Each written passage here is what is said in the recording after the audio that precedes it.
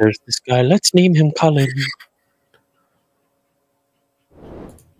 I'm two days into college and I'm three lectures behind. Stop. Do you know that song? No, but Nick sings it a, a good bit. Stuck in my head now. Dude, you sound good. you said what? I said, dude, you sound good. Are you kidding?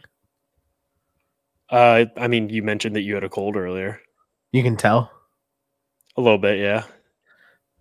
I guess I'm just gonna get sick every month, like the dumb. I can't. Never mind. I'm not gonna say anything.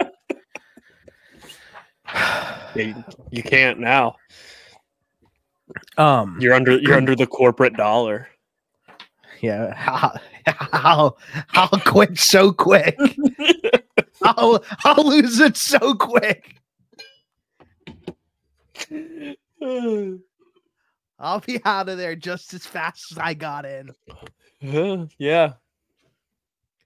Yeah, yeah, yeah, yeah, yeah. All right, sorry.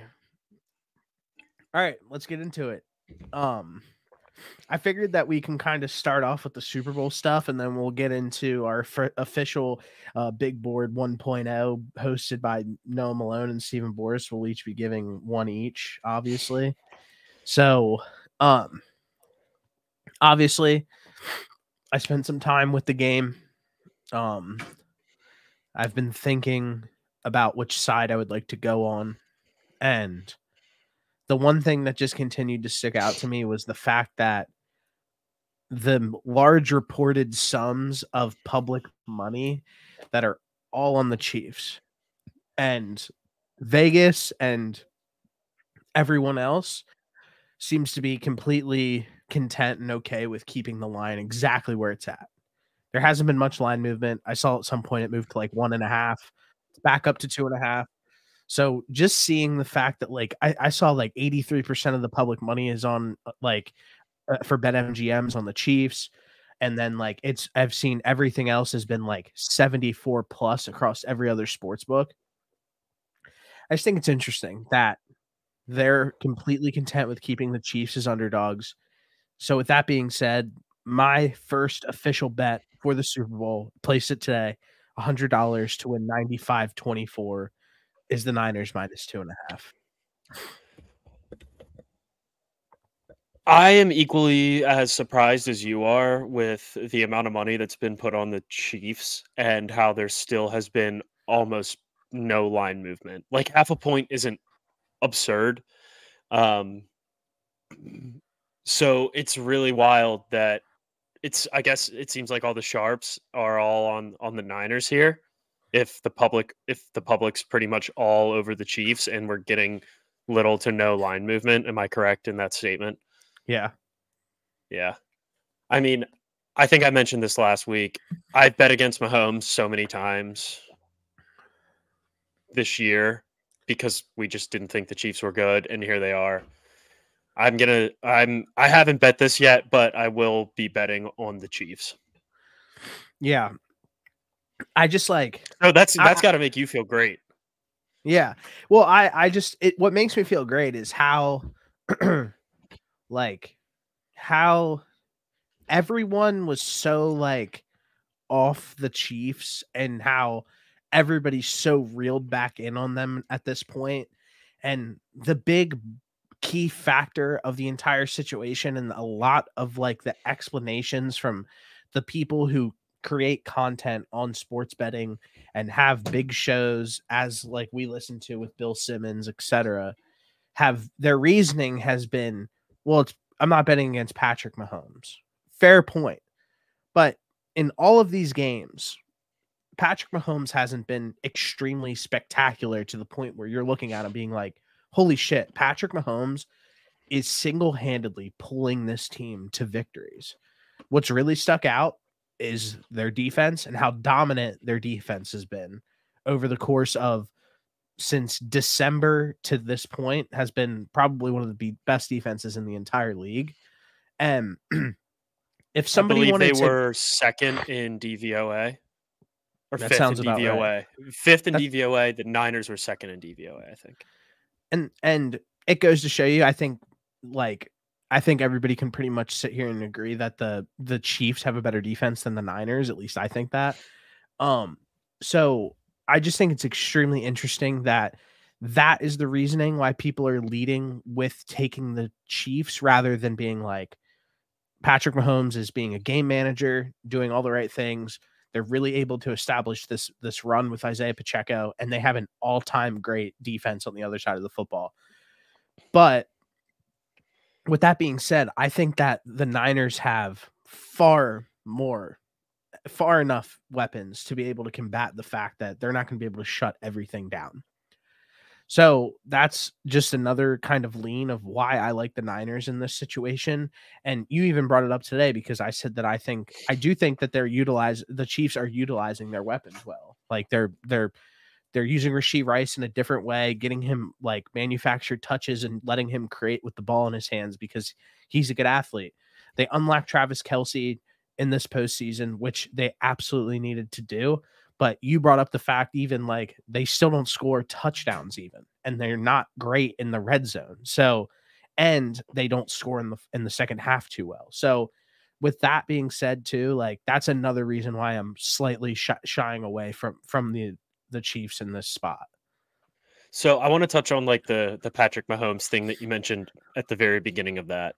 Um, obviously, this version of Patrick Mahomes that we've seen so far isn't the guy where he's throwing for 450 yards every game, like four touchdowns. He is more of like the game manager. But I think ultimately what it comes down to is when the game's on the line, do you trust Patrick Mahomes to go and get it done? And I think that's that's personally where I'm at with this. Obviously, mm. the defense has been phenomenal, and I'm not discrediting them at all. I do think that this Niners offense is going to be able to move the football on them, but I think if it comes down to it, it's a one score game, and you've got you've got the Chiefs with the football. I, I just trust Patrick Mahomes to go down there and lead the team to to a, a touchdown and or a field goal and win the game. I think that's really I, I'm not expecting him to go out there and have a ridiculous game stat wise. But if they're able to keep this close to a, a, one score game and they end up getting the ball in the fourth quarter, I mean, it's it's nearly impossible to not pick Patrick Mahomes to to go in there and and finish the job at that point. Is where I'm at at least. I, I am sure, sure, that's probably where a lot of other people are at too with their reasoning behind the Chiefs. But like, by no means do I expect Patrick Mahomes to go out there and go absolutely crazy. I yeah. think it has to be. They have to be. It has to be a complete game on both sides of the football for them to go out there and win this game. Obviously, they're the underdog for a reason. I think obviously, and we all do, that the Niners are a really good football team and they've got a lot of weapons that can put you in a lot of uncomfortable situations as a defense. Um, but the Chiefs' defense is solid. Their offense has done what they've needed to do, um, and it, and obviously this this game's a two point spread for a reason. Um, I think it's going to be a close game. Neither one of these teams really gets blown out, so um, if it really comes down to it, last possession, Mahomes has the ball. It's pretty much automatic. Yeah, and, or it has it has been it has been. Well, I mean, there's been multiple times this season where that hasn't been the case with Mahomes in this offense. Where in the biggest moments it has been. In the biggest moments it has been, but over the course of th- just strictly this season, he hasn't. That hasn't been the case. And then you can even sit here and pretty much say like he didn't in the biggest moments, he hasn't had to do that yet. And I know in past season, I'm not saying Mahomes is the best quarterback in the league. I'm not saying that. but this postseason, he hasn't had to go and make a play like that or have to go and make a drive like that to set them up in a position like that. So that's why, and and when it did happen this season, there were a few times throughout the course of the season where it did not pan out the way that they thought it would. So, like once against the Raiders, once against the Bills, once against the Broncos, where they weren't able to go down and edge the game. And that's regular season football. And they're in the Super Bowl for a reason. But that's just another tidbit that I'm throwing out there that I think is pretty interesting. Where at times where it did have to happen this season, it always wasn't automatic. Yeah, and I agree with you for for the regular season this far, but ultimately here they are, and all that matters is can you get it done in the playoffs, which we've seen Patrick Mahomes do constantly. So it's hard for me to pick against him in this situation. Um, with that being said, do you have a score prediction for us? uh, I think that the final score of this game is going to be like 31 to 17 Niners. Okay. Yeah, I I was thinking realistically like 28 24 Chiefs is where is where I had it. I'm gonna write my score down so if, so I can remember it. Write yeah, down I, with it. I don't have my what what was it? I don't have a pen. 28-24 Chiefs. That'd be that'd be a great game, man. I'll tell you what. All-time classic. that'd be a classic. Um yeah, I, I like the Niners. With that being said, with that score that I even said, I placed $25 on the 49ers minus six and a half to win $49. That's my second bet that I placed today when I texted you earlier. Okay.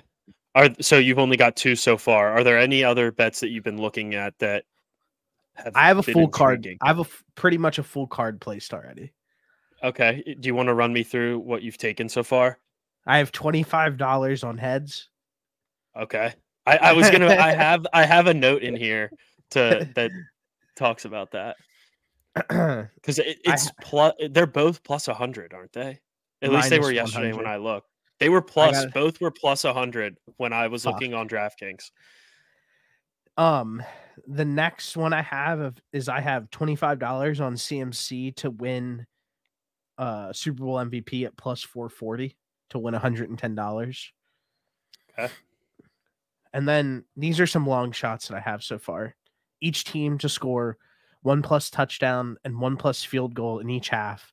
Ten dollars to win two sixty. That's each all that team, that is, or is yeah. this parlayed? No, this is this is just a straight bet. Oh, I like that. Plus t- ten to win two sixty on that is really good. Next one, each team to score one rushing touchdown and one passing touchdown in each half ten dollars to win fifteen hundred. That'd be a shootout. Yeah. Next one I placed is Deebo Samuel to win MVP at plus twenty five hundred, ten dollars to win two fifty. Any offensive lineman to score a touchdown, five to win three twenty five. That's a good one. The yeah. Chiefs could easily throw it to a tackle. Yeah, and then they could.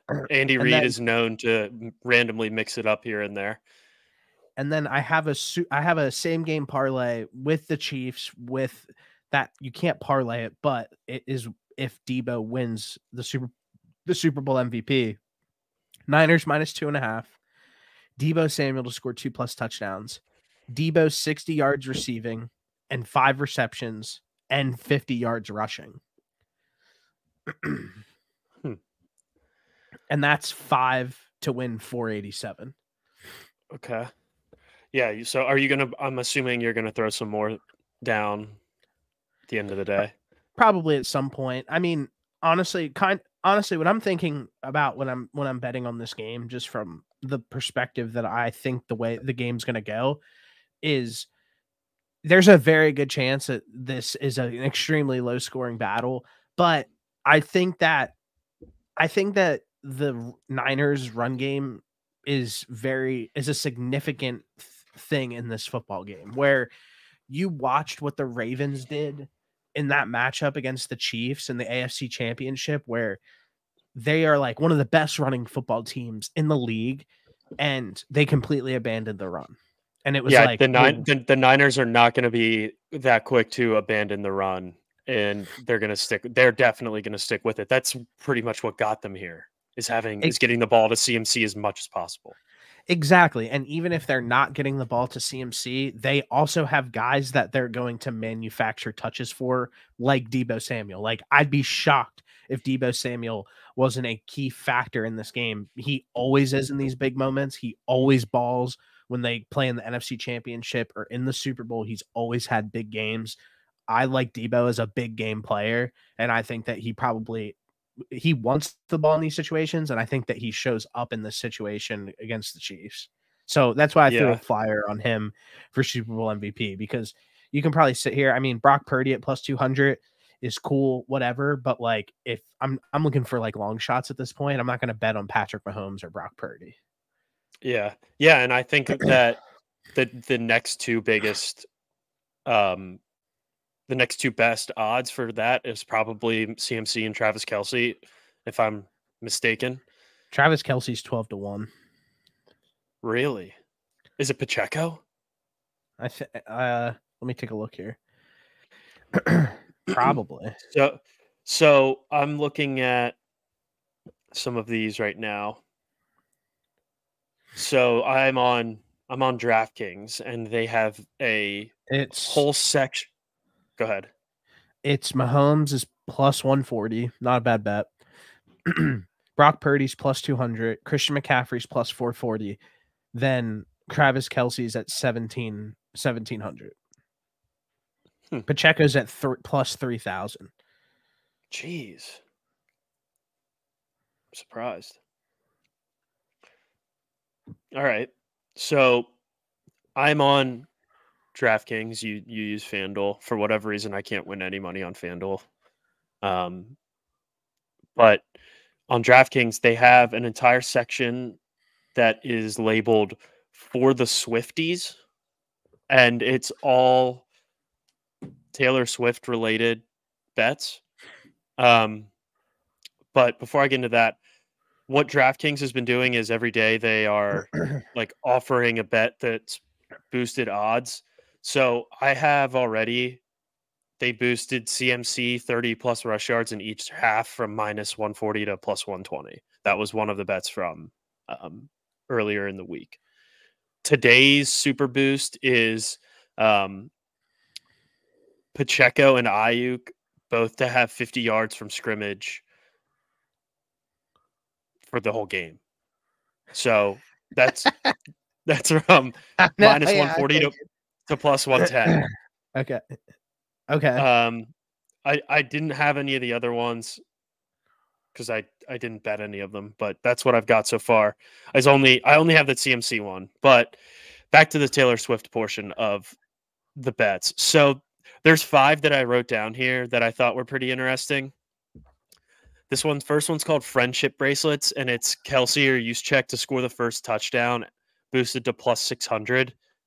Um, I knew you were trouble. CMC to have 150 um, plus rushing and receiving yards, boosted to 150. Look what you made me do. Chiefs to trail in the fourth quarter and win the game at plus 500. 15 Mahomes 15 plus rush yards and 215 pass yards minus 140 and then mine it it's called mine and then it says Travis Kelce 87 plus receiving yards boosted to 190 so there's some in there that I like I like the Travis Kelce one I'm gonna probably bet on this um, Chiefs to trail in the fourth and win the game throw a couple dollars on that and then probably CMC 150 rush and receiving yards um, those are just a few that I like. I'm I'm probably going to end up slamming a couple other Kelce bets. There's one for him to have um, 30 yards in the first quarter at minus 110, which I kind of like. Um, you really like Kelce against Fred Fred Warner and Dre Greenlaw?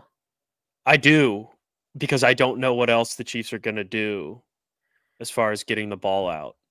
I think they're going to stick to their best weapon.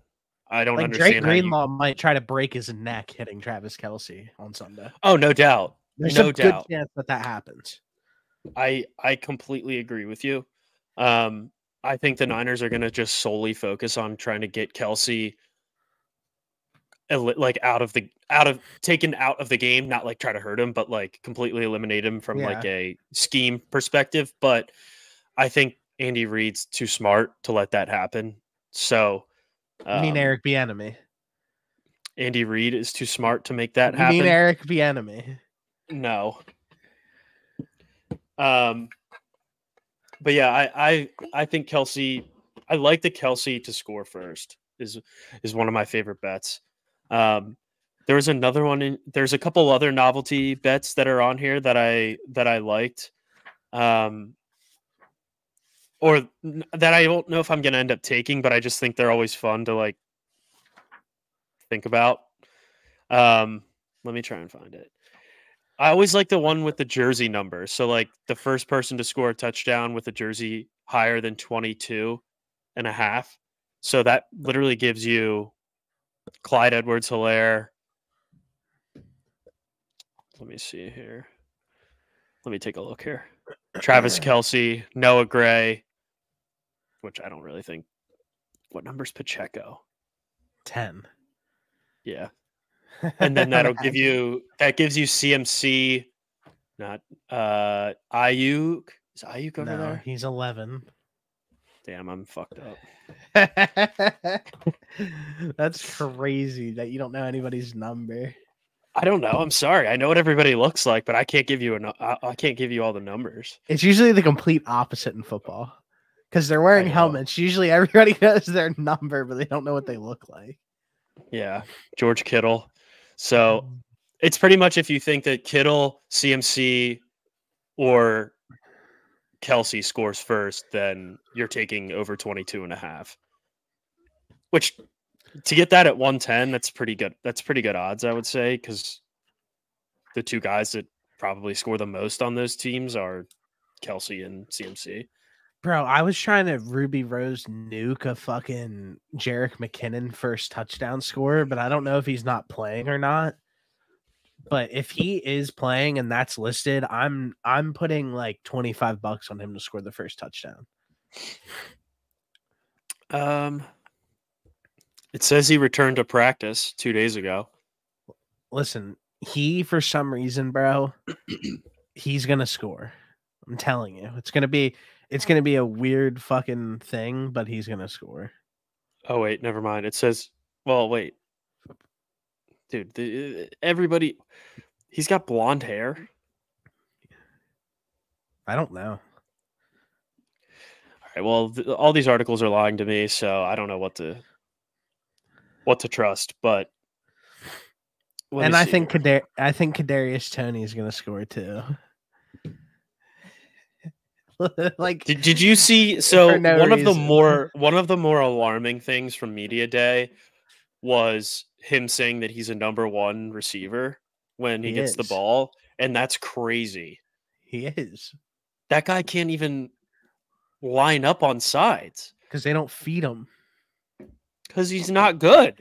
Li- bro, listen, he's gonna have like eight catches for 182 yards and two touchdowns on Sunday. Eh, If he does that, he's the Super Bowl MVP.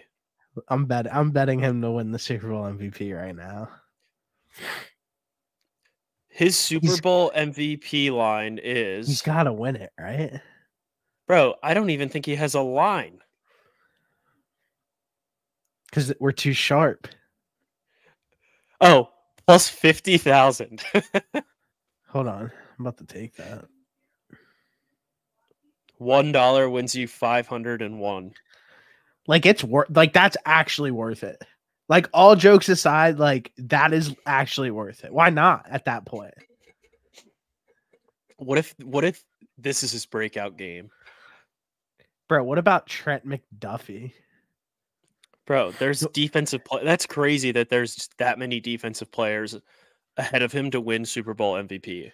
Bro, ten dollars on Trent McDuffie would win us six grand. Like I feel like we, we could gotta. we could retire. I just think like it's worth it. Like I don't know, dude. That's all right. Here, back to these. So these on here, it has coin toss outcome heads plus 100, tails plus 100, and then to win the coin toss, Chiefs and Niners are both plus 100. So you got a bad line. fuck. I'm gonna bet Joe Thuney to win Super Bowl MVP. There's a bet right here. Go ahead. Two hundred and fifty dollars would win me hundred and eighty-seven grand. like, bro, like we could change our lives. Uh, that would be something, eh? Um, there is this. Who will have? There's this cross sports special for NFL and soccer. So Um, Sunday morning, Manchester United plays Aston Villa. Is that the 11th? Yeah. So Sunday morning, Aston Villa plays Man United, and this bet is who will have more CMC touchdowns versus Man United goals. And you can get Man United goals at plus 100, a tie at plus 250, or CMC at plus, or tie at 225, or CMC at plus 250. I think I'm going to take Man United goals. Do it. I mean, there's they score three goals. CMC's he scores three touchdowns. I mean, props to him, but because if he scores three touchdowns, he's going to win, and they win, he's the Super Bowl MVP for sure. I so, I just want I just want anybody other than a than a quarterback to win Super Bowl MVP. That's it. That's Yeah. all I want. yeah. Um, speaking of quarterbacks, I saw today on Twitter something that um, was pretty cool. Um, PFF rated or uh, graded the quarterbacks or the highest graded quarterbacks in the Super Bowl since 2006. So, number one, Nick Foles, 92.3 versus the Patriots. Jalen Hurts, 92.2 versus the Chiefs. Nice. Russell Wilson, 91.7 versus the Patriots. Aaron Rodgers, 91.6. I don't know who that one was against. Who'd they win their Super Bowl against? Either way. Um, Eli Manning at 91.5 versus the Patriots, and Patrick Mahomes, 89.5. I think that was against the Niners. Never mind, that was against the Eagles. the Super Bowl. Oh, wait. Who did the Packers win their Super Bowl? Their one Super Bowl with Aaron Rodgers against. the Steelers. So yeah, that was 91.6. So that's the sixth highest graded quarterback since 2006 in the Super Bowl. Two Eagles. Pretty nifty. wow. All right. Well, do you have any anything else on the Super Bowl Super Bowl or how you think it's going to go, or, or are you at peace? Um, I do have a moon tweet that I can share. Let's hear it. So, preliminary lunar analysis cer- certainly favors the Chiefs. The day of the Super Bowl is a waxing crescent moon, and the Chiefs are 19 and 1 in the last five years under the waxing crescent conditions. By far the best moon phase. Their only loss came in came October 10th, 2021. So I I tried betting against the moon before and lost. And so the moon's undefeated. Yeah. What did Nick? What did Nick text me today? Nick said, "Really good news. The favorites in the Super Bowl are four and two since 2000 when the groundhog sees his shadow." I saw that. They were just talking about that on it was either part I think it was pardon my take. They were talking about that. So he didn't see his shadow though, so the, it's good for the underdogs. Wow. Not enough people are talking about that though. I didn't see that at Media Row at all. Not once.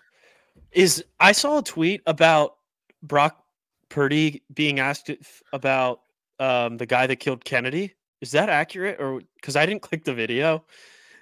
Yeah, I he guess looks they, just like him. yeah, I guess they're saying that he looks like him. He had no clue who he was. You could tell. He was just like Yeah, he off. I mean, that's like, an yeah, absurd thing. To, that's a, an insane thing to ask. Yeah, I- the Super Bowl media days are just seemed like seemed to be like ridiculous. It also looked like Kyle Shanahan was fucking plastered out of his mind. He And- was. He went out the one night before. There was videos or pictures of him I saw. Not good, but whatever, I guess. But yeah, so maybe maybe it's the 49er or maybe it's the Chiefs year. There also has to be a part of you that, like, you can only ask so many questions in a two week span to the point where you have to just start bringing up random shit. Yeah. Like, there's only so much I feel like you can ask about the game, right? Yeah, it's just stupid. Did you see the reporter that asked Patrick Mahomes about his dad's DUI? No, I didn't That's- see that one. That's just flat dis like I, I'm if I'm in like the firm camp of like if you ask a question like that, you should like low key lose your job. I mean, there's just no need to ask that. I understand like having fun with it and and asking silly questions, but Like if they asked Brock Purdy if he like knew who Anna Fry was, you know that I'm talking about, like that massive meme where he like looks like that random girl. yeah, it looks like that. Yes. Yeah. Where if he's like, de- like his brother videotaped him after the game and like said he looked like her. Like if the media asked about that, like that's just like funny and like clowning him, and he thinks it's funny clearly, but like asking somebody's dad who's on like their sixth DUI, like that's just like not cool. So too, like too far. Too far. yeah, like a little too far. But so I mean, so uh, to be to be fair, I think that that would have happened to like say the Texans made it to the Super Bowl. There's no doubt somebody's asking CJ Stroud about his dad being in jail for sexual assault. but that's why I th- like literally I think that at a point like you should probably got to draw the like, line. it- it's like it's not even disconnecting the art from the artist because they're not even involved. Like CJ Stroud's not involved in that situation. Not at Patrick all. Mahomes Mahomes is has not nothing to do with his dad. Yeah, Like slugging a bunch of rum and cokes and then driving. Yeah, like that's his dad's decision. So I just think that those questions, I, I think those are those questions where like the reporters think that they're like way cooler than what they actually are. They are nerds and like are finally like, oh, like I get to, I I get to like look make Patrick Mahomes like look stupid, which is like, why would you do that? You get Like- that's their uh I'm gonna go viral moment in their head when you're asking that question. It's sad. So So you just look like an idiot. So with that being said, do you have anything else on the Super Bowl or are you at peace? No, I think I'm good. I'm really excited to watch this one. We get a rematch from what 2021. I don't know, probably. I think that's when they last played. Um. Oh, question for you: Who do you think has the most to prove in the Super Bowl? Do you think it's Shanahan? I mean, yeah, probably. Okay, that's that's where I'm at too. Just want. But I don't think it's like I don't think that's like that bit like hot of a take. Like, like, no, really, I don't think so either. I don't think there's any like real like this Super Bowl. There's like no real hot takes. Like both of these teams are expected to be in the Super Bowl every single year. Essentially, like both of these coaches are held to like an extremely high regard. At some point, Mhm. you probably want to see Shanahan win a Super Bowl. With that being said, Shanahan if he loses, Shanahan's still one of the best coaches in the NFL. So like it's it's one of those situations where it's like you definitely want to see him win a big game, like win a bring a Super Bowl home, and I'm sure he's dying for one. But like, even if the Niners were like, we need to change something up and get rid of him, wherever he goes next as a head coach, he'll be one of the best in the league still. Yeah. Yeah. And if you're the Niners and they don't win, like you don't win, moving on from him is easily would be one of the dumbest decisions they could make. So, Yeah, I mean, yeah, I'm right. I'm right there with you. I, I have the, uh, the box score pulled up from the last time the Niners and the Chiefs played. It was 2020. Um, and the Chiefs obviously won. It was 31 20. But I'm looking at this quarter breakdown and going into the fourth quarter, the uh, Niners were winning 20 to 10, and the Chiefs hung 21 unanswered on them, I I will win. never forget it. which is cr- just crazy. I completely forgot that it was uh, like they came back that heavy. That was the Raheem Mostert and Damien Williams show, and Playoff both of the Damien. yeah, the the both the running backs absolutely went nuclear in that matchup. They played their hearts out. Yeah, I'm trying to get the uh see if I can get this. Yeah, Damien Williams 17 carries for 104 yards and a touchdown. Raheem Mostert 12 for 58 and a touchdown and then Tyreek Hill had 9 for 105. Sammy Watkins baby 5 for 98. Yeah, What a name. Yeah, and I remember I, I forget who it was. I eh, I think it might have been Cowherd or something. Everybody loves to bring up the Brady situation where it's like Brady said, like for the first few Super Bowls, he gets too juiced up and spent all of his energy, and it's a long halftime, like blah blah blah. I think Bill was saying this actually. Yeah. And he was like, Brock Purdy's just like hasn't been in a situation like this. It's like correct. But with that being said, like they have guys on both teams on both sides of the football who have played deep, deep playoff football, who have played in the Super Bowl already, have lost, have won on both sides. These teams have more than enough veteran leadership to be able to guide a team through this situation. It's not like Brock Purdy came out of nowhere and he's leading like an underdog team to a, Super Bowl. Like this team's extremely well prepared. They have one of the be- they have some of the best coaching staff in the league. They have some of the best players at each said position in the league and if not like top 8 like where like you have the best running back, you have the best left tackle, you have a top 10 quarterback, you have the best uh linebacker in the league, you have uh Nick Bosa, great edge rusher. Those guys all have played in, in the Super Bowl. So mm-hmm. I just think it's one of those situations that it's it's not precedented because these teams are so good. Both of them are so good, have such great players on it. And I think that and the coaching staffs are great and have been here before. I think it's going to be like an amazing matchup. Yeah, that's what I was going to say about the coaching staff. Both of these guys have been there before. They know how to operate. I'm sure they'll have those guys dialed in for. I mean, the, the halftime show, I get it. It's long, but like that should give you more of a time to if you it could be beneficial if you have a shitty first half. It gives you time to reset and it gives you a little bit more time to get things prepared for the second half and make sure that you got all your ducks in a row so that you, you look at look as bad in the look, first half you look at like the Bengals situation a few years ago where like Evan McPherson like blew it for them. They should have won. He missed the kick and he was out on the field at the halftime show, like watching things like that. Like yeah. little, little things like that where the Bengals have, haven't been there forever. And Joe Burrow is just getting started. Like everybody was so young. Like that is a situation where I look at and I'm like, well, that's a team that just doesn't have it right now. And they're new to they're new on the scene. And I guarantee you that the next time they make it to the Super Bowl, if they ever do, it wouldn't be like that again. So I just think that like there, there's certain situations where that comparison makes sense, but I don't think it fits for for this situation that we have. Yeah, I think there's probably too much experience all over, like you said. So I do miss Joe Burrow though. I can't wait for him to be healthy. Yeah, all right. Um. That, yeah, that's all that I got though. All right. Perfect. All right. So obviously the Senior Bowl just happened. Things are really heating up. Uh, I I literally said to you the other day, like, because we I said that the college I said college basketball is dead because it is, and um and you said that I hate college athletics. Nobody has wa- watched more college football than me last year. Nobody. I I would love to see name one person that has. I watched every I sat here with three monitors up, four multi-screen on every single monitor, and watched every game from noon to three o'clock in the morning when Hawaii was playing, and bet on every single game. So, um, with that being said, I love watching the talent that's going to be coming up through the ranks and in the NFL.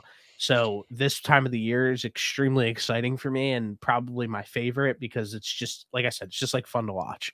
Um, and the only thing, and I texted this to you, the only thing that I say that I have critique about college football is one, the transfer portal and stuff sucks dick, and hopefully they get it figured out. But the one thing that I want them to always do is I want the best brands in college football to play the best brands in college football on a week to week basis because every college football like has an opportunity to make every game like a damn near spectacle. Like it could be like some of the biggest sporting events ever if you were to a good example is like why is ohio state and penn state playing at noon? Like no that should be the prime time night slate game no matter what. So it's just like little things like that where i think like scheduling issues are a big deal and i want to see the best teams play each other. Yeah i'm i'm right there with you. I think that that would make things I mean, I already I already love college football, but I think that that just adds like another element because then you don't get like the the random Penn State versus Delaware. Delaware game, and then you don't get like the UMass. Alabama Alabama versus Mercer week twelve of the or week nine of the season. Um, They should never play each other. never. Um, and I mean, I understand like the benefit that Mercer gets because they're on a, they get to be on a national scale, but like, Who watches What good game? d- yeah, that's what I was gonna say. The There's Stadiums are empty. there's rare you those games are games that if you're an Alabama fan, if you go in, you end up leaving at halftime. Yeah. I So mean, you've- there's You that. went to Penn State. Like when the Yeah. when if there was a bad game at noon, the stadium would be half empty. Like yeah. you're not like you're. It's like oh, like they play Villanova this Tol- week. there's Toledo. They play Let's, Toledo and let's just take this one we- off. we left at the third quarter. So there's and just like went to went somewhere else and finished the game because like what what's the purpose of me standing in there for four quarters when they're going to end up winning by 45 points when I could go watch it at a bar or apartment and watch five other games at the same time. So I think that it's it's probably they probably would have to wait a couple years to do it since they make schedules a couple years in advance but prioritizing those bigger matchups. Because like realistically we know who s- the bigger name programs are going to be and those athletic directors and coaches meeting or i don't even know how they do it but getting those other big name teams on the on the schedule would just add another layer to to college football which would be great. Like the 12 game season already matters a lot but adding that element to it where you really don't have a week off would would be Amazing. very very entertaining. So i think there's that and then um like you mentioned with penn state and ohio state like that game should never be played at noon it's just an, it's so annoying from a fan perspective because that's normally the biggest game of the weekend and the biggest games just feel like they hit a little bit harder when they're at that later slate at like 7 8 o'clock on abc like those games are when I was growing up, that game was like, holy shit, this is the best game.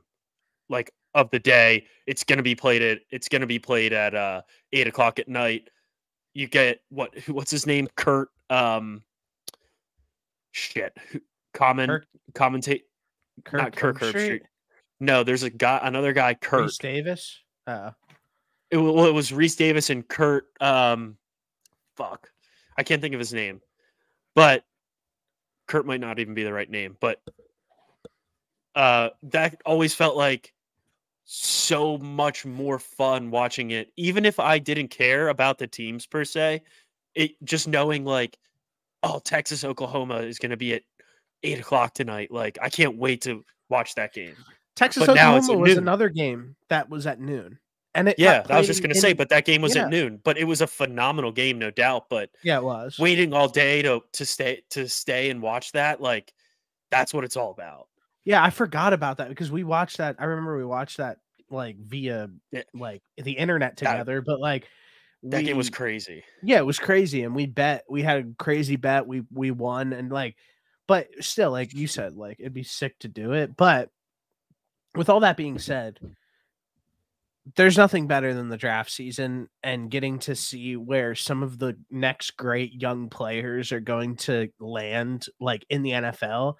So me and Noah were texting the other day because obviously this football season's kind of running it's over pretty much. Um, and we're gonna do our first big board 1.0.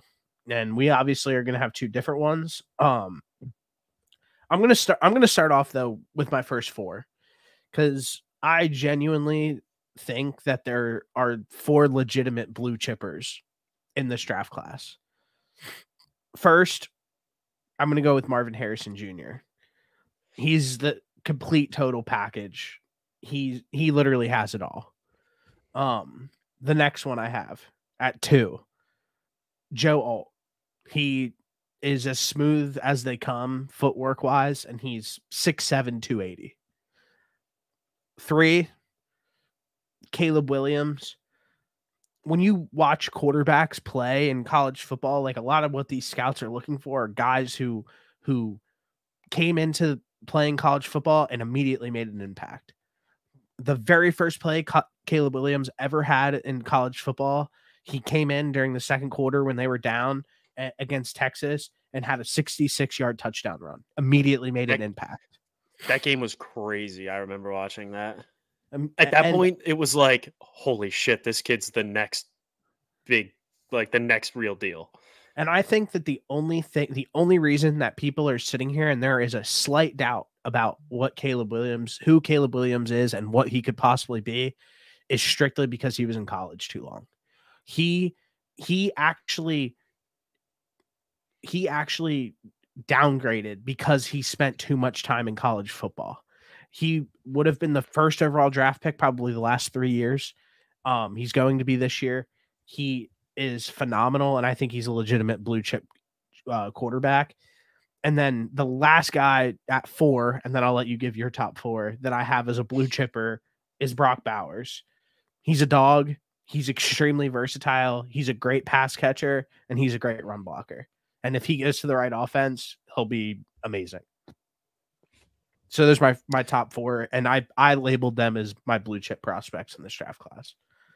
Okay, yeah, I mean I'm right there with you with my number one for Marvin Harrison Jr. Um, I think he's the complete package, the real deal, probably the best college wide receiver prospect that we've ever seen um, up to this point. So I'm right there with you. Um, at two, I have Caleb Williams. I think he's another guy that is just automatic, is going to go in and make an Im- immediate impact um, wherever he ends up. Um, I have his stats pulled up from the year that he. So what 2022 is when he won the Heisman, right? Yes.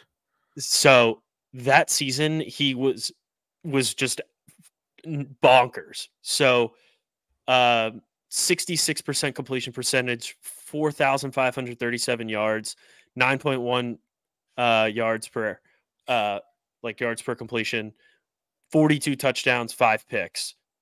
Um, and then 2023, 68% complete, 68.6 completion percentage, 3,633 yards, 9.4 uh, yards per completion, 30 touchdowns, five picks. So 12 less touchdowns. But if you take a look at that USC team, the, the year he won the Heisman versus this past season, they had Jordan Addison, and Jordan had Jordan Addison won like receiver of the year, didn't he? Yeah, he won the Biletnikoff. Yeah, so like you lose that big of a weapon, there's gonna be a decline.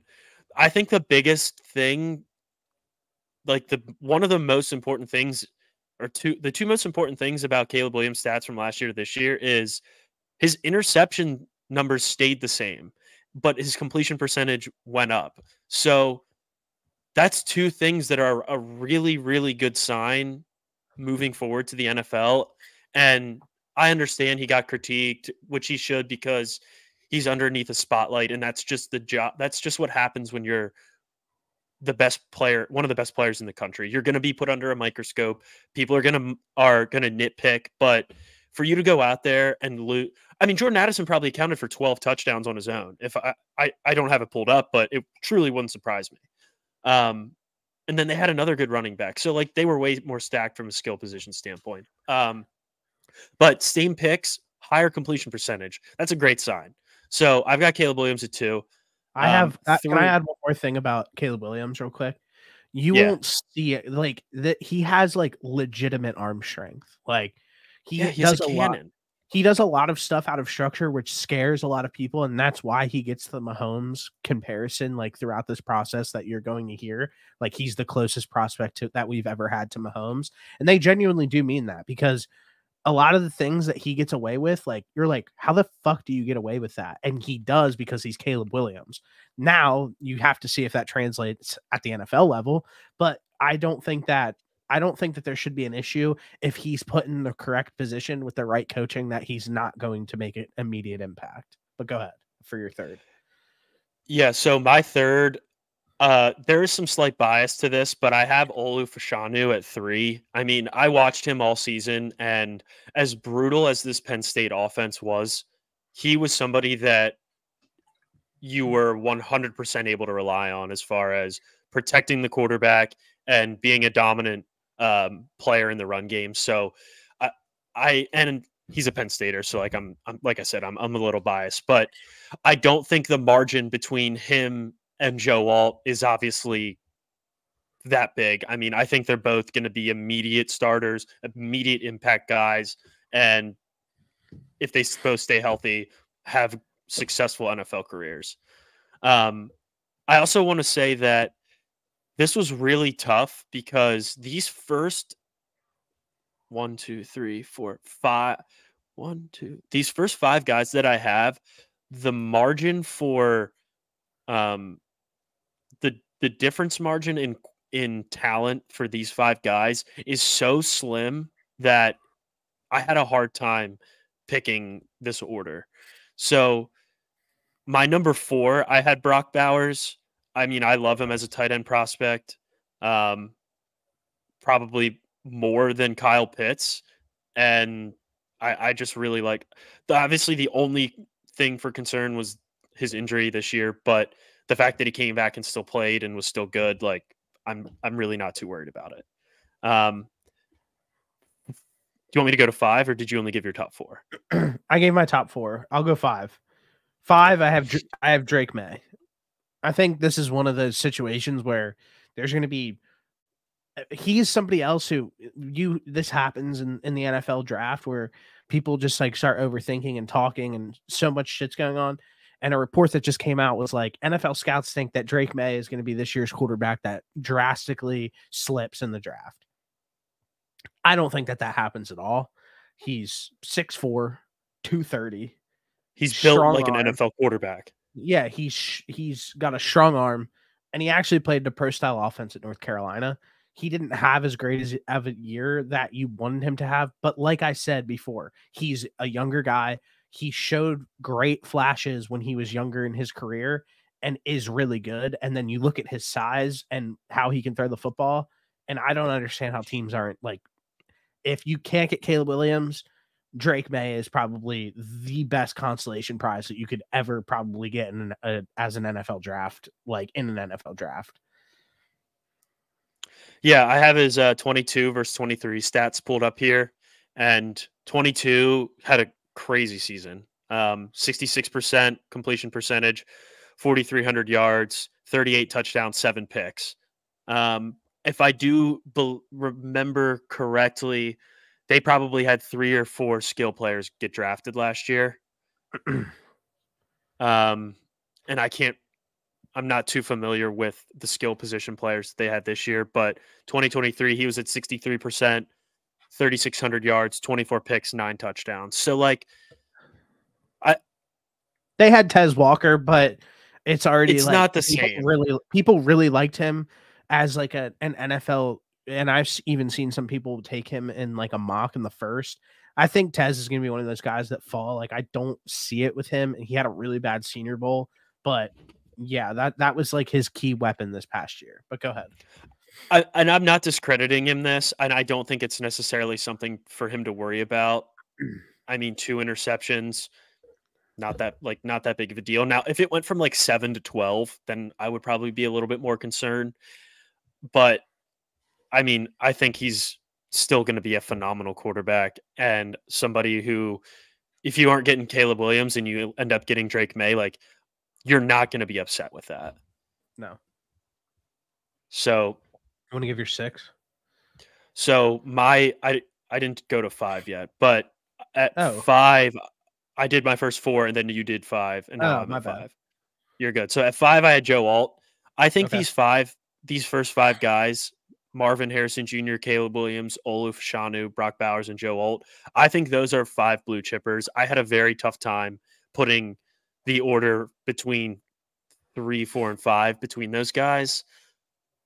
I I just I just really like the this first group of five players. I think they're going to be extremely talented. I think they're going to be really successful in the NFL.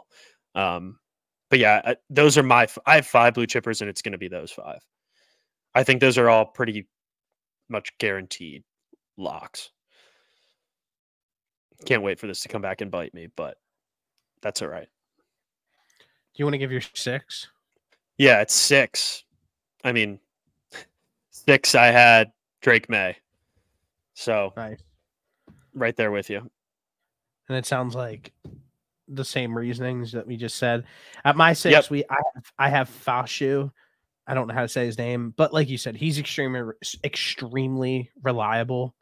And yeah, I mean, that's that's pretty much it. Like he was a bright spot on a bad Penn State offense. Yeah, you're not going to go wrong with either one of these tackles that we mentioned, Olu or Joe Alt. So like at this point, it's just being very particular and if you're an NFL team, it's whoever's available is you're gonna is who you're gonna end up taking. I think. Like, I I'm not gonna be surprised if Olu goes before Joe Alt, and I wouldn't be surprised if Joe Alt goes before Olu. I think I think they're both going to be phenomenal tackles for a long time. Um, after Drake Maye bet, so go ahead. After Drake Maye, I have Malik Nabers or neighbors, Sorry, Malik Nabers, uh, wide receiver LSU. I mean, I think he's by far the second best wide receiver. I don't think he's as complete as Marvin Harrison Jr., but I think he might be a better deep threat than Marvin Harrison Jr. Um, I after watching film on this guy, it felt like every touchdown that he scored was like 45 yards or further. So I, I think he's a, he might be the best deep threat in this draft, but I solidify him as the second best wide receiver. Yeah, I messed up on my list here. You just gave number seven, right? Uh, one, two, three, four, five, six, seven. Yeah. So in my, I I have Malik Nabers here as well, um, but he will not be in my top ten for 2.0. Um, I get it. Like he's everybody like people said like I think that he's if you can get him he's comparable to Marvin Harrison Jr. I, am not gonna fall for the fast guys. I know he can run routes. Andrew pushed back on this against me, but I I already said like I'm not falling for a fast guy ever again at wide receiver, especially like this early. So me personally, I'll eat my words on it if he's like the best receiver and he's a dog, but I'm out I'm out on Malik Nabers, but I do have him at seven on this because I do think I, somebody's gonna take him early. I'm not necessarily picking him because he is fast. I think he's a, just a very good overall receiver too, and I think the speed and the deep threat helps. Like I think if he didn't have that and he was slightly slower, I still think he would be a good NFL wide receiver, and I still think I would probably have him at two. Perfect. Okay, so I'm gonna go eight if that's cool with you. Yep. I have Byron Murphy the second from Texas, interior uh, D lineman, which sounds a little weird, but he has an extremely high motor, is strong, and is very good at rushing the passer. And I think that that's really rare that you see from an interior lineman throughout like these processes, like over the years. Like the guys who can pressure the quarterback from the middle it's extremely obvious. Like, and I'm gonna say some of the best names in the in the league, and I'm not comparing him to him to them because that's unfair. But you think of guys like Aaron Donald, and you think guys of like Chris Jones who can pressure the quarterback from that interior position, and how much of a difference they can make. And I think that this guy could be special, and you take a shot at him, and I think that he could be a game record for you. I agree with you. I think he was like the anchor of that Texas defensive line. Um, I didn't have him in my top ten, but I had him in an honorable mention. Nice, because I think he's a he's going to be a beast. Um, my next guy, I had Terrion Arnold, cornerback from Alabama. Um, I really like this guy. I know that everybody's been really high on um, um, the kid from Toledo, Quinyon Mitchell. Um, I think Quinyon Mitchell's really good. I have him in my honorable mention. But what I saw from Terrion Arnold on film was he's just very sticky. He sticks to these wide receivers. And from what I saw, he it felt like he was in the back pocket of receivers at all times. And yeah, I said yeah, sorry, sorry, sorry. Go ahead. But no, I, I, I, I just think he, I think, I think he's what the same size as as Mitchell, but I, don't. Mitchell's six foot. Yeah, I think Terrion Arnold's like six foot, like one ninety five. But he's but he's long. Yeah. uh, but no, it also that it might there might be some Alabama like defensive bias built into this, but just from what I saw, he was making plays on one-on-one matchups, making plays on jump balls, and he just felt like a guy that was with wide receivers at all times whenever I was seeing him on film. Definitely. And he and he was doing it at the highest level. So that's that plays into it too perfect perfect that you just said that and i'm going to literally base what you just said off of my number nine and i have quinyon mitchell um toledo ball hawk physical can make tackles um he's a complete animal and he did it at toledo and that's kind of the question like okay like he played at a school like toledo but you went to the senior bowl against the best talent in college football and you absolutely were you popped out in front of every single person that was there. He was the biggest talk of the town at the Senior Bowl. So to be able to have the film that shows that you're able to do that and then immediately go to a spot where you're like, okay, let me go prove it, go and prove it. In my head, that guy's a dog. He's one of my favorite. He's an immediate one of my favorite players in this year's draft class. And I I hope that he goes early and I love that guy. Yeah, there's a lot of good corners or a lot. Yeah, a lot of good corners in this draft. I want to say there's what like five or six potential first round corners. It feels very first round. Yeah. Corner he- like there's not going to be five or six drafted, but it in the first round. But it feels like there are five or six guys that could be drafted in the first round. I agree. You want to give me um, number nine?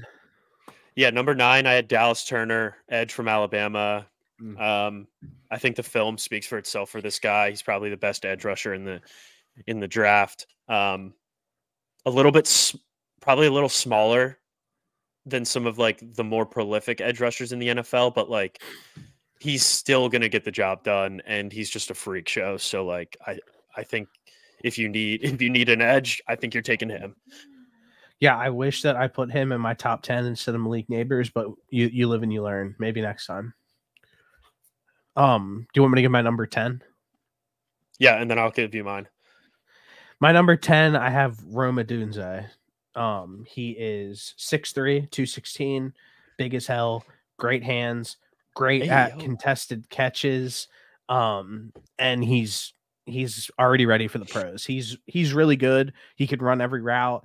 Um, something that something that I really like is a guy who's able to make those contested catches, and I think that it's not a situation where he wasn't able to get separation because I think that that could probably be something that you could push back on. It's like, well, is he getting separation on those routes? And it's like he is, but where Penix was throwing him the ball and how they used him, he was able to come down with those highly contested catches almost every single time. So I do I I like Rome Odunze over Malik Nabers in this situation, but I didn't have it like that. But yeah, that's my number 10. Yeah, I, I like him a lot too. I remember um I also think just like being in that like that Washington offense and getting a lot of targets just helps your case, especially if you're able to play at a high level and and um like catch the football. So like he clearly can be a high volume receiver and I think you know what you're getting with him. I think he's going to be really good too, but I I did not have him in my top 10. Okay. There's a lot of receivers too. My my last guy here is Jer'Zhan Newton, D tackle from Illinois. Um, okay.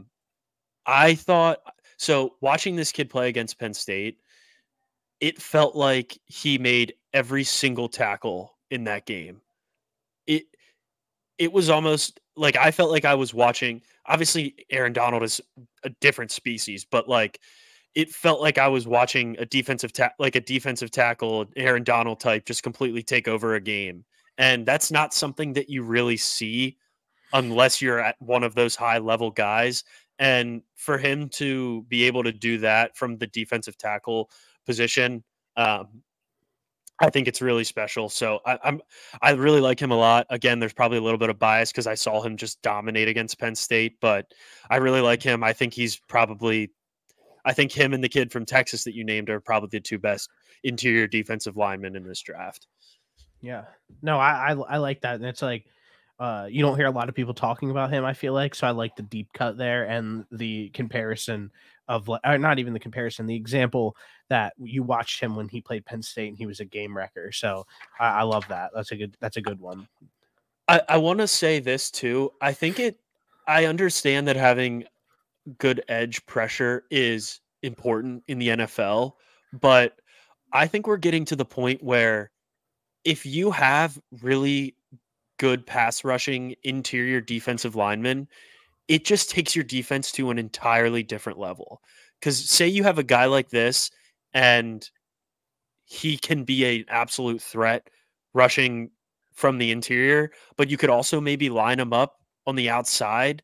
That just opens up so many more things for you to do as a defensive coordinator. Oh, and he's good in the run. Like that's super important. And I think that as we start to see the game develop, I think we're going to start to see maybe a little bit more conscious thought go into hey, if we can get these multi-talented defensive tackles that can rush the passer, pa- rush the rush the passer, rush the passer, but can also be stout on def- on the on the run game. Like that's going to make us just a completely different defense.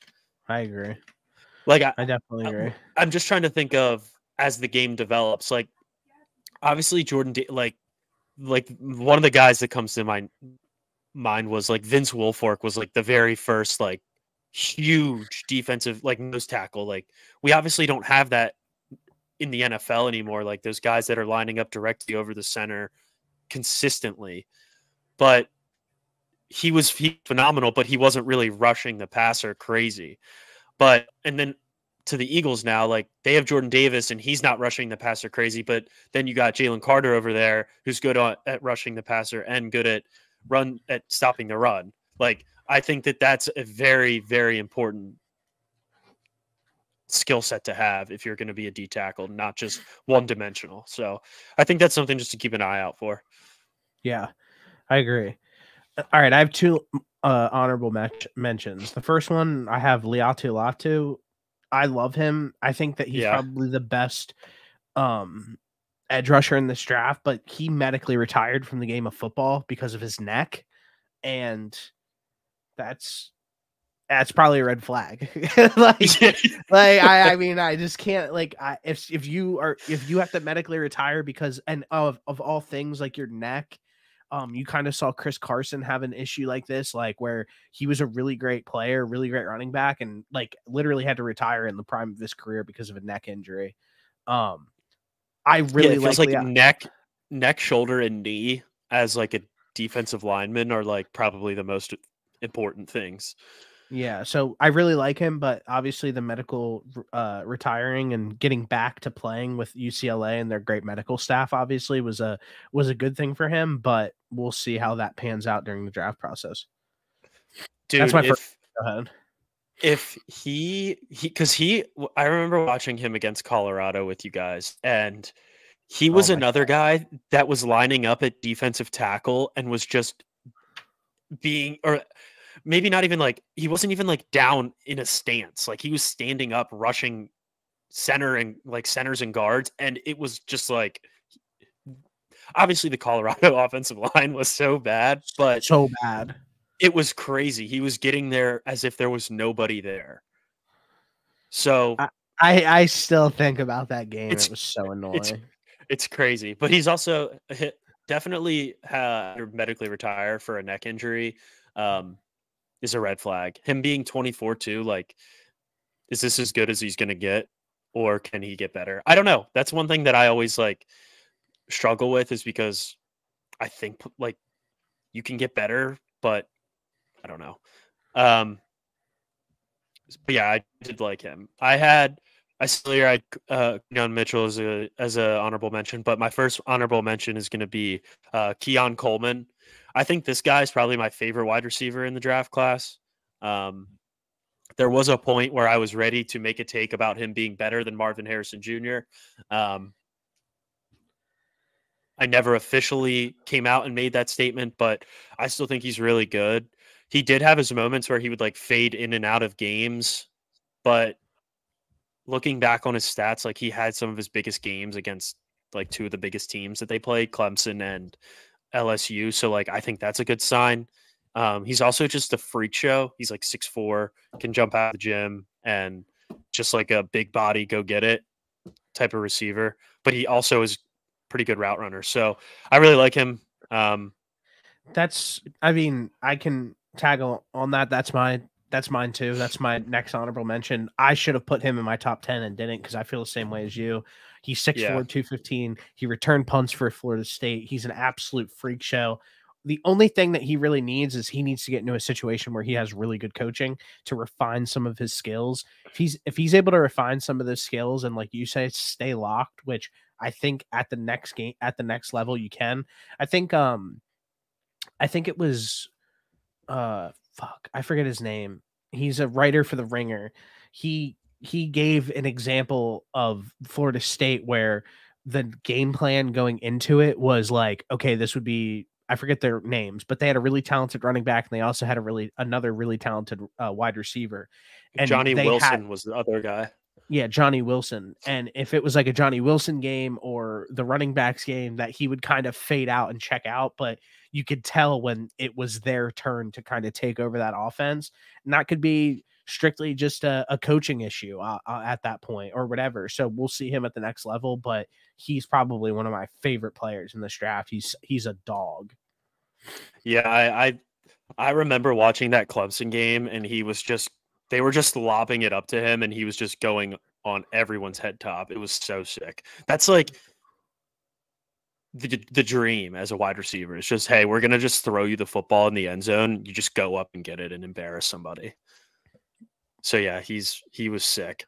Um Florida State also like kind of beat the shit out of everybody besides like three games. So I can kind of understand like checking out because you probably just end up running the football and and or taking out your stars like in the second half. So I kind of get that, but um, yeah, um, I don't really know if I have this guy honorable mention, but it's somebody that I wanted to talk about. I don't even know how to say his last name, but it's Cooper. Is it Cooper DeJean, the kid from yeah. Iowa? Yeah. Yes. So I wa- I watched film on this mm. kid and the first thing that I will say is that it seems like he's probably the best tackler at the corner position in this draft. Um, but something that worried me was I didn't see a ton of film of him like on an island guarding wide receivers and making a lot of plays that way, which is which was something that concerned me because when you get to the next level, you're gonna have to be able to do it all, and you're gonna have to go up against the Justin Jeffersons, you're gonna have to be you're gonna have to go up against Ja'Marr Chase, and you're gonna have to be able to hold your own. So like, I don't know if it, I just didn't watch enough film on him or what, but from what I saw, I didn't see a ton of that. Um, another thing was like, it seemed as if the love that he that he was getting as a corner was almost boosted by his ability to return punts at a pretty high level, which is kind of weird um, because it should just strictly be about him as a corner if that's how you're going to evaluate him. Um, with that being said, the kid's a good punt returner, which is important. Um, and it definitely adds another layer to his game and definitely boosts his draft stock. But I'm just not sure if I'm there yet on him as like this high up ranked corner. I don't. I don't know, know if you've why, got a chance. I don't know what being good, and this isn't a shot at what you said because I completely agree with you. I think he's a glorified punt returner. Like, I don't see where being good at returning punts equates to being a first round pick.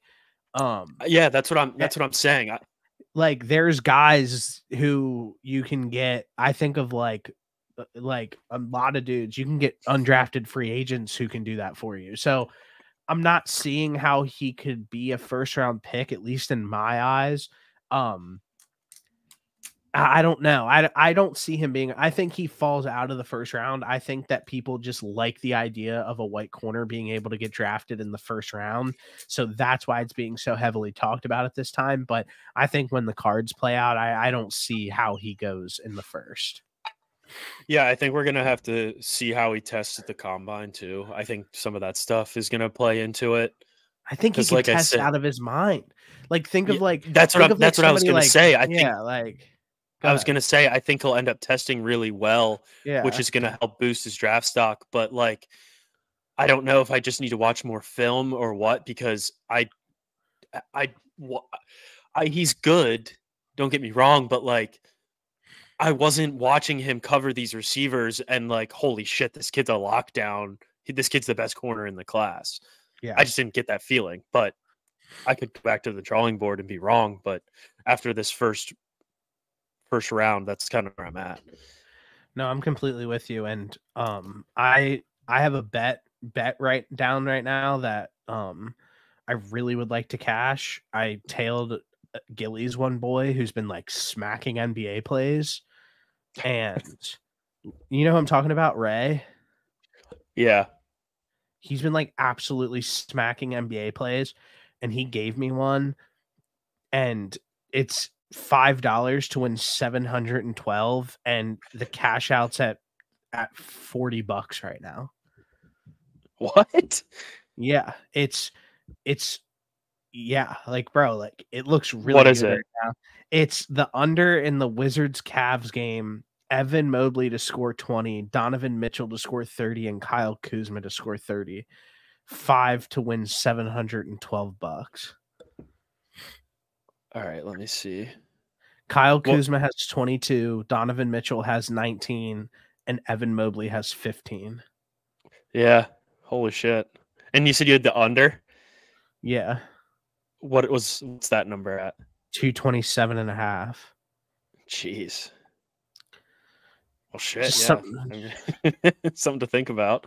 Uh, so that, that's why like i'm looking i keep looking at this and i'm like is this actually like this is starting to look really good but I'm trying not to get too excited about it obviously but sorry my mind's out of it. But with that being said um hopefully everybody enjoys this kind of stuff. We're obviously going to be making a little bit of a transition and we're going to be figuring out what we're going to be talking about on a week to week basis just because this is the first off season we've ever done obviously so just just getting our our bearings and figuring out what we're going to talk about i think that it's going to be kind of a work in process at least for over the next month but uh, it's definitely going to be heavily um, not heavily but we're going to definitely be talking about like the draft and the process and the process that's going into this and uh well yeah i mean that's pretty much it. So i do have two other tweets that i bookmarked that i kind of just wanted to talk about a little bit. Let's hear it. Um so i think it's interesting that um one I didn't even realize that Eric Bieniemy was out of the Commanders job until like they officially signed Cliff Kingsbury. So that's a just a complete bonehead move on my part. I just yeah, I don't think I don't they ever like officially. I I did I didn't think they like officially announced that he was out, but I I obviously understand the concept of a new head coach normally means an entire new staff. Yeah. I just never saw anything official. Um, so Cliff Kingsbury being in there. Cliff Kingsbury did meet with the Bears too, and and the Raiders. He was supposed to be the Raiders OC, but um, landed at the Commanders.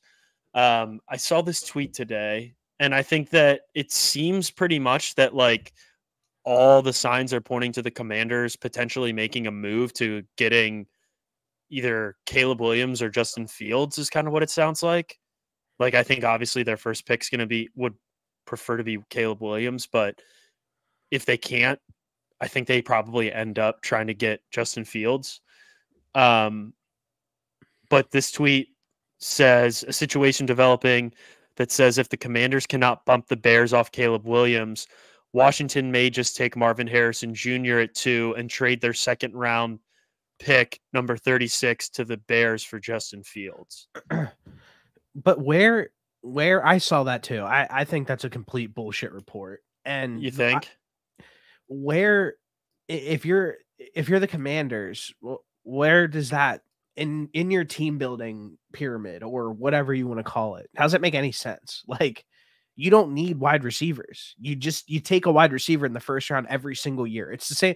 It's like when when the Giants it, the Gi- they have the Giants taking Malik Nabers. It's like, are you guys going to take a wide receiver every in the first round every single year and miss on the wide receiver every single year? And the Commanders don't need wide receiver help. They have really good wide receivers and good weapons. So I just think that like I get the pedigree play and getting like a guy like Marvin Harrison Jr., but they need so much on this roster. They gave up a million sacks last year. They yeah. traded away their entire front line on defense. Like they have a lot and they and on top of that, they need a fucking quarterback. Like like that's just yeah. so so let's just say priority number one, they need a quarterback. Priority number yeah. two, they need O line. Priority number three, they need ed, edge rusher and interior help on the D line. And we could just say I, all defense. And I think all defense, and then like I think wide receiver need is like at the absolute bottom. So I just think that that report is absolute bullshit. So I think the the validity validity of it comes from if they are unable to trade with the Bears and get K- and get Caleb, to get that Caleb Williams number one pick. I do think there's probably some validity to them trading for Justin Fields, but I think the reasoning for them taking Marvin Harrison is just like best player in the draft. I don't think there's a defensive player that you can take at number two where you're like, yeah, we're getting the why, most value out of why it. Wouldn't I, I was gonna up... hold on, hold on, hold on, okay, hold on, sorry, hold on. Sorry. I was gonna say a better fit would be taking one of those offensive tackles in Olu or Joe Alt at number two. Um, but at the same time, like you have you see a generation a potentially generational wide receiver sitting there on the board, best player available. At That's two? a tough thing to pass. At two. Yeah. Bro. We just we, why? we just had we just said Marvin Williams is the best player in this draft.